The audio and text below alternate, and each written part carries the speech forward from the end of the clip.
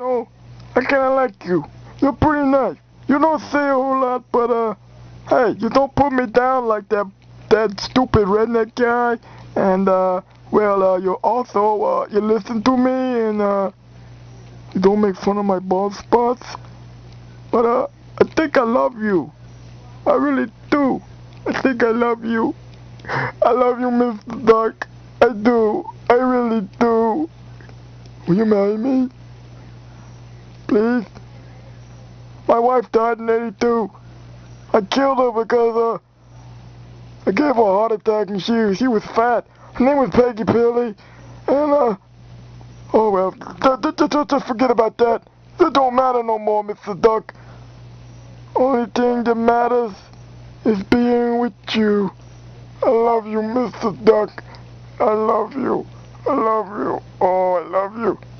Hate you. I hate you, you stupid duck. Screw yourself.